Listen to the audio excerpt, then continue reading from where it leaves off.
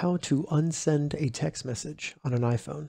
Welcome to another Gauging Gadgets iPhone tutorial video. In this video, I'm going to show you how to unsend or recall a text message on an iPhone. So if you sent a text message and you no longer want that to be sent, you want to take it back and unsend it, in this tutorial, I'll show you how to do that. So before we get started, it's important to note that unsending a text message on an iPhone first requires you to have the latest update of iOS 16 then you also have to ensure that the message you sent was sent through iMessage.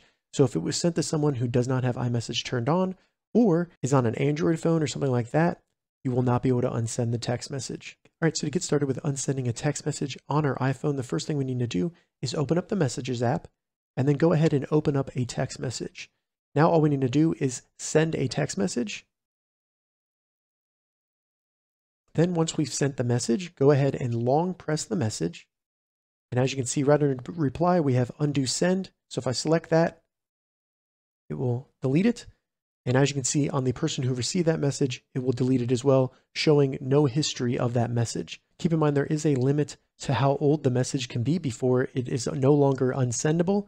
So the message has to be less than two minutes old. As you can see, these messages cannot be unsent and they were sent less than 10 minutes ago. All right, so that's how you unsend a text message on an iPhone. If you have any questions about this, leave a comment below. I'll get back to you as soon as I can. If you'd like to see more iPhone tips and tutorials, check the links in the description. If this video helped you, give it a thumbs up, and please consider subscribing to my channel, Gauging Gadgets, for more gadget reviews and tech tutorials. Thank you so much for watching.